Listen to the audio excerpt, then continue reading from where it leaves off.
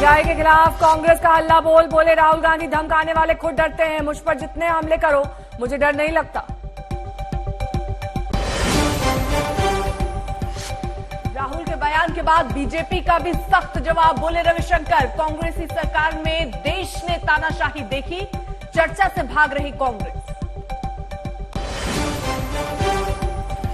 मार्च के खिलाफ दिल्ली पुलिस की सख्त मोर्चेबंदी, थोड़ी देर बाद पीएम आवास तक चलेगा मोर्चा, फिर राष्ट्रपति भवन तक भी प्रदर्शन।